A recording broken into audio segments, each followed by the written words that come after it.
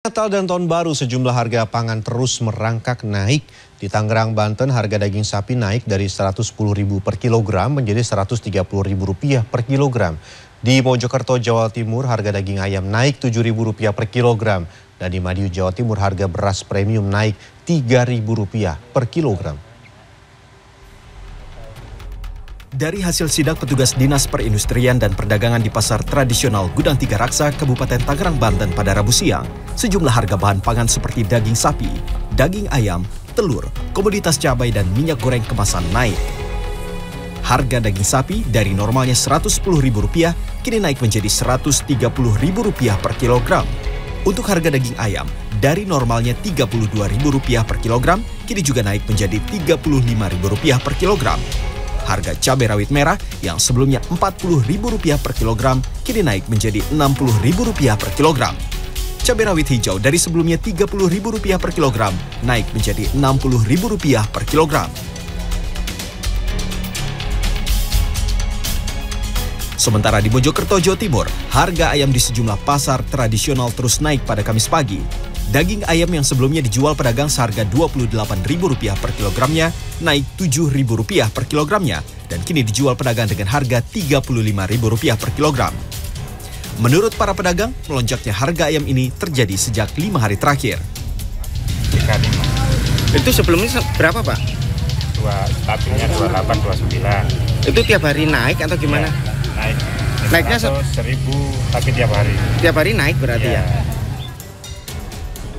Masih di Jawa Timur, yakni di Kabupaten Madiun, sejumlah bahan pangan juga mengalami kenaikan. Harga ayam potong naik dari Rp28.000 menjadi Rp32.000 per kilogram. Telur ayam naik Rp1.000 menjadi Rp28.000 per kilogram.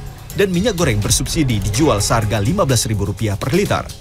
Sementara harga beras premium yang naik sekitar 25% dari Rp11.000 menjadi Rp14.000 per kilogram. Tim Liputan CNN Indonesia. Jelang libur Natal dan Tahun Baru, pemerintah melakukan persiapan untuk menghadapi arus mudik liburan dan kelancaran perayaan Natal. Sementara itu, kepolisian akan merekayasa lalu lintas di sejumlah rest area dan memastikan keamanan sejumlah gereja.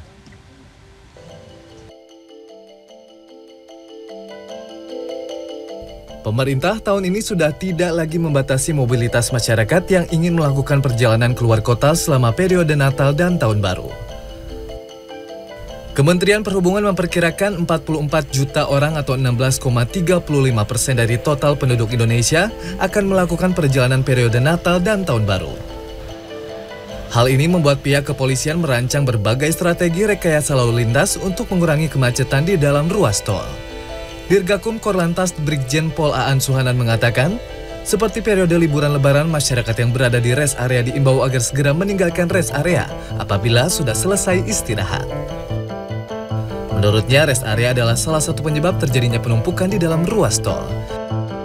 Ia juga menambahkan akan ada rest area sementara di pintu keluar tol yaitu di jalur arteri yang bisa dijadikan alternatif pemudik untuk beristirahat.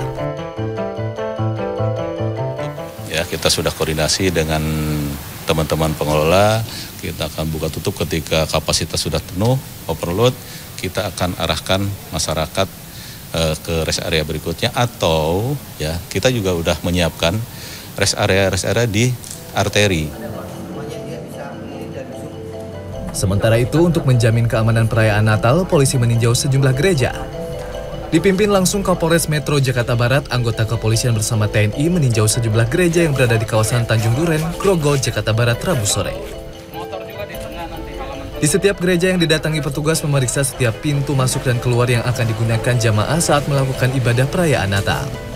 Tak hanya itu, petugas pun memeriksa kelengkapan kamera pengawas yang terpasang di setiap sudut baik di luar maupun dalam gereja memastikan kesiapan e, sarana yang ada di gereja ini. Ini semata-mata kita untuk e, para jemaah bisa nyaman, aman nanti pada perasaan Natal nanti gitu. gitu. Sebanyak 120 gereja di Jakarta Barat akan menggelar ibadah malam perayaan Natal dan di setiap gereja, polisi bersama TNI telah mendirikan pos pengamanan yang akan ditempati para petugas gabungan dari unsur TNI Polri, Satpol PP, dan Dinas Perhubungan. Tim Liputan CNN Indonesia.